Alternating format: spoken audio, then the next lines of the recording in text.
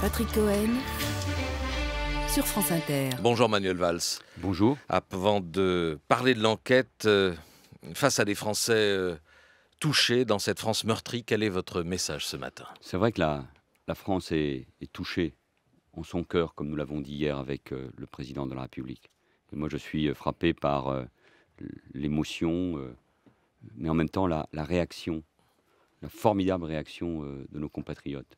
Je souhaite que cette réaction, elle soit euh, durable, parce que nous avons besoin de dire face à ceux qui ont voulu euh, abattre la tolérance, la démocratie, la liberté de penser, euh, l'insolence qui était celle de Charlie Hebdo, nous avons besoin de, nous rassembler et de dire non, l'état de droit, la démocratie, euh, la liberté sont plus forts que le terrorisme. Quel est le but du terrorisme? C'est de nous enfermer, c'est de créer des conflits, des césures, des fractures encore plus profondes dans notre société. Donc le seul message, c'est celui bien sûr de l'émotion, euh, du, deuil, mais d'une très grande détermination à défendre nos valeurs et, et la liberté, c'est-à-dire ce qu'il y a au fond de plus sacré. J'ai le sentiment presque, et il est partagé, je n'en doute pas, par une immense majorité euh, de Français, que hier, on, s'est rendu compte que, que, la liberté était quelque chose symbolisé par, par la presse, bien sûr, mais à travers ces, hommes, ces femmes qui ont été, cette femme qui ont été tuées, ces journalistes, ces personnes, ces policiers,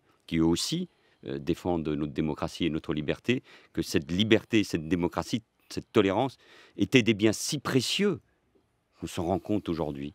Donc, il faut que cette mobilisation, dans le calme, dans la sérénité, dans l'unité, dans le respect, dans la tolérance, se, se poursuive et s'amplifie. Les tueurs sont arrêtés, Manuel Valls. La police est près de toucher au but? Je ne peux pas le dire. euh, Il faut être prudent d'ailleurs dans toutes les informations qui euh, sont diffusées aujourd'hui euh, sur les ondes ou sur Internet. La seule chose que je puisse vous dire, c'est que les services de police et de justice sont pleinement mobilisés. À l'heure où nous parlons, non, les tueurs ne sont pas arrêtés. Il y a eu des interpellations, il y a des gardes à vue, sept, parce qu'il y a un travail bien sûr dans l'entourage de ces individus, de ces personnes présumées. Il y a évidemment euh, deux personnes qui sont euh, recherchées, ces deux terroristes euh, probables, mais là encore, laissons euh, la police, laissons les enquêteurs faire euh, leur travail. Les suspects ont séjourné en Syrie? Toute information qui est divulguée euh, aujourd'hui peut d'ailleurs euh, nuire au travail d'enquête. Je comprends toutes les questions qui sont posées, elles sont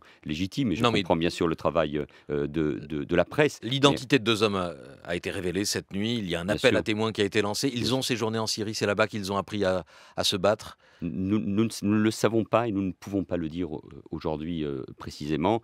Ce qu'on peut comprendre, c'est qu'il s'agissait de deux individus très déterminés et qui incontestablement, comment dire les choses, se sont comportés, euh, pardon de le dire ainsi, en des soldats, dans, dans des tueurs. Leur mode euh, opératoire euh, est, est celui euh, de, gens entraînés à, tuer. Nous, l'avons vu et nous le voyons malheureusement sur ces images effrayantes quand ils ont euh, abattu euh, euh, ce policier après avoir euh, tué euh, ceux qui étaient dans les bureaux de Charlie Hebdo. D'autres attentats ont été déjoués cette semaine, a dit hier le président de la République.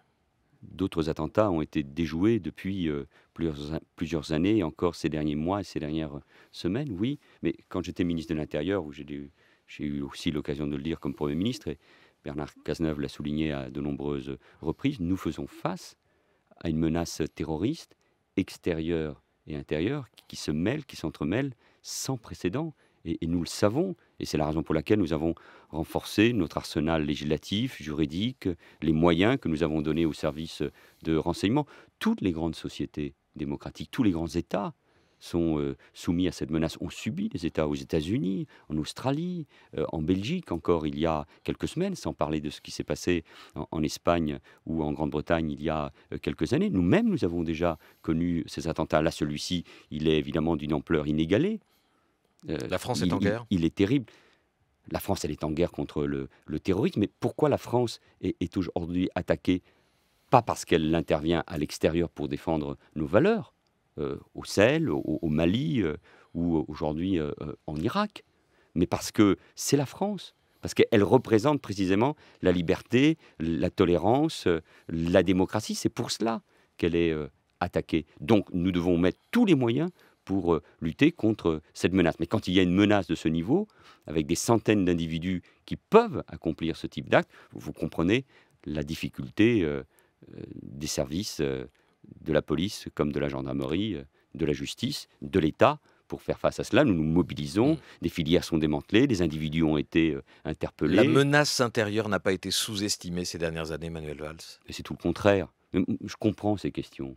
Je comprends le, ces questions quand elles viennent de la société, des journalistes et encore plus euh, des, victimes, des blessés et de leurs proches. Ces questions, elles sont tout à fait légitimes, elles viennent de la presse, et les enquêteurs, la justice, euh, le Parlement euh, devront évidemment chercher des réponses. Mais c'est tout le contraire. Deux lois ont été votées.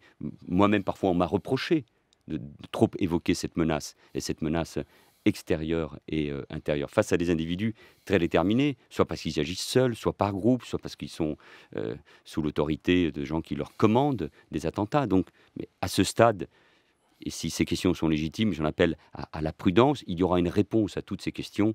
Aujourd'hui, la mobilisation autour de nos valeurs, la mobilisation pour interpeller ces individus, pour pouvoir les traduire devant la justice et les punir de manière impitoyable. Y aura-t-il enfin une réponse sur ce qui passe, ce qui se passe, sur ce qui continue de se passer sur les réseaux sociaux? Il y a toujours des appels à la haine, vous le savez depuis hier, sur les réseaux sociaux. Vous avez raison d'ailleurs de le souligner. Bien sûr, je suis venu ici euh, sur votre antenne pour euh, répondre à, vos questions, pour rendre hommage aux, victimes, pour avoir une pensée pour euh, Bernard Maris, que je connaissais et qui était ce journaliste, cet économiste talentueux que nous écoutions toujours avec euh, euh, grand, grand plaisir. Et je pense à lui et à ses proches. Et nous sommes tous euh, bouleversés. Je vois dans son studio, dans ce studio, comme dans les couloirs de Radio France, l'émotion qui vous gagne tous. Et en même temps, tout en voyant et en saluant cette formidable mobilisation hier soir et qui va se poursuivre dans les jours qui viennent, je vois aussi ce qui se passe sur les réseaux sociaux. la haine, mais qui n'est pas nouvelle, vous avez raison de la souligner. Il faut euh, la combattre. tirons au moins une leçon de ce qui s'est passé. C'est que la haine, d'où qu'elle vienne, elle est euh, intolérable. Nous ne pouvons pas l'accepter. Je pense que nous avons laissé au cours de ces dernières années s'installer euh, des discours, des amalgames qui ont fracturé une partie de la société française. la seule réponse possible, c'est la République, c'est la démocratie, bien sûr, mais, c'est le rassemblement autour de ce que nous est plus cher. Et ce message de tolérance, que nous, que nous avons vu hier sur euh, euh, de nombreuses places euh, de, nos grandes villes, mais partout en France.